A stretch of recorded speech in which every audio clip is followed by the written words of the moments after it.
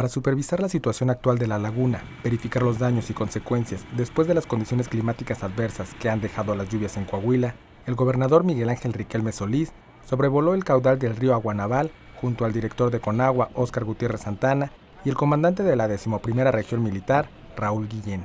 Actualmente dos motobombas se encuentran trabajando para extraer agua en la laguna que estaba a su máxima capacidad. Lo más importante es, generar una estrategia para poder desaguar de manera inmediata la, laguna de, regulación. Tenemos varias opciones, no hay muchas eh, dentro de, lo que podemos, eh, este, lo, que, lo que, de lo que podemos hacer son pocas las opciones que no generan daño en otro lado. Está el rebombeo que, de alguna forma este, eh, dentro de la de la capacidad no, no, no, no es una gran solución porque el escurrimiento es mucho más grande que lo que va a salir.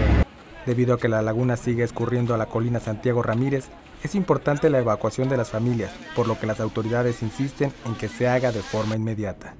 Notimex.